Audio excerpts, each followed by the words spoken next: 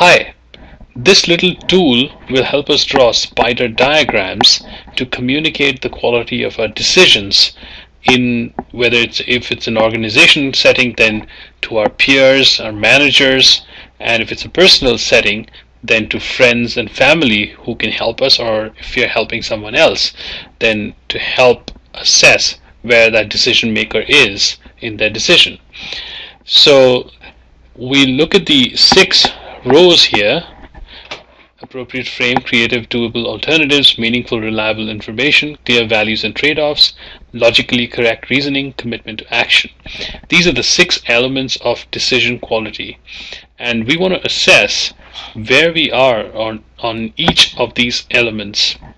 So for the first one, appropriate frame, this is about whether we have clarity on what our decision is. So this little tool called a decision hierarchy is something that you would draw when getting clarity on the frame. So the question here is do we know what our current decision is? Do we know what our future decisions are after this particular decision is made? And do we know what the givens are? The givens are decisions that have already been made. So a common mistake here is people often put events down as givens. Events are not givens. Givens are decisions that you've already committed to. So do you have clarity on all three elements here? And if you do, then another thing to check is, is your frame too broad for you to take action? Or is it too narrow that even if you take action, it won't give you that much value? So looking at all of these things, do you have clarity on givens, current decisions, and future decisions? And are you satisfied with the scope of your frame? And considering all of these, give a rating from 1 to 10 on the quality of your frame. So let's say that for the decision I'm facing, uh, I would put it as a 5. So I'll put 5 in the cell E3 and I'll get to the next element, creative doable alternatives. So this is about whether we have generated enough good alternatives to pick from or are we stuck with just one or two good good alternatives? With one alternative you don't have a decision to make. You have a decision when you have two alternatives. So and you definitely want to generate more than that. And the quality of the alternatives should be such that you should have at least a couple of compelling alternatives. One of the big mistakes people make is they'll take a pet alternative and stack it up very disingenuously uh, with useless alternatives or low value alternatives where it becomes very obvious what the best alternative should be. That's not what we're trying to do here. We want to find out enough alternatives that we can actually do that could give us value. They should also be feasible. So how much effort have you put in in discovering alternatives and are you comfortable with the quality and the quantity of the alternatives you've generated? So on a scale of 1 to 10, what what would you say about this? So for my current decision, suppose I haven't uh, been able to generate enough alternatives. Maybe I'm just stuck with three alternatives. Okay, so let me put this down to a 3 out of 10. Okay, meaningful, reliable information. So do I know what information would change my mind? What information would switch my decision from one thing to another thing. So if I know the kind of information that will change my mind, the next question is what have I done to gather such information? And have I tried to gather it from reliable sources?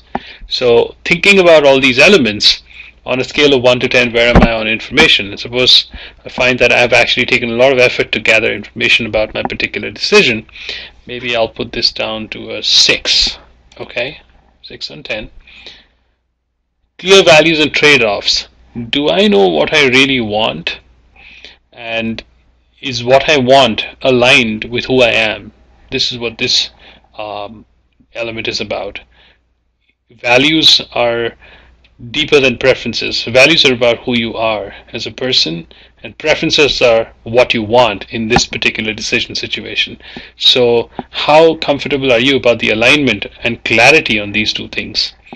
Let's say uh, we haven't, you know, in my particular decision situation, I haven't given much thought to values and preferences. Okay, but 2 on 10. Logically correct reasoning. How comfortable are you that the logic used to arrive at a decision is sound?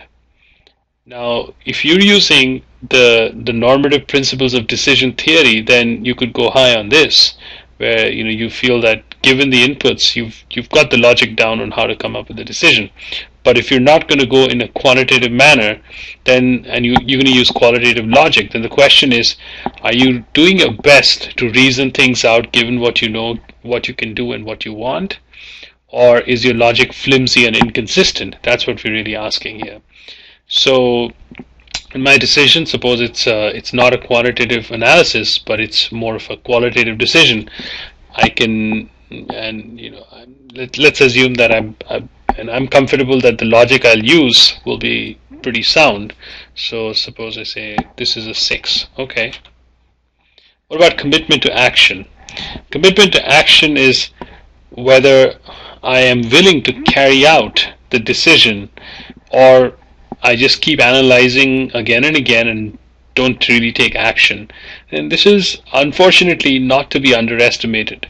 A lot of organizations are stuck in this paralysis. They just don't like making decisions because uh, in a lot of environments, what happens is if you make decisions, you have to stick your neck out. And in risk averse cultures where you're penalized for taking risks, people don't like to make decisions unless they're absolutely sure. Now, such behavior kills value because you, you're not taking enough risks. You're not putting yourself out there to discover more opportunities.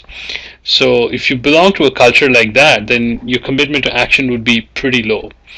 Now, of course, if you're in a in a in a dynamic environment where you're constantly innovating and in a very entrepreneurial setting, perhaps, then once you find a good idea, you go ahead and implement it. And, you, and if you're if you are in such an environment, then your commitment to action would be high. At the personal level, uh, in your decision making, are you a person who once you once you know what the right path is, you you're still afraid to walk? And if so, go low on the score.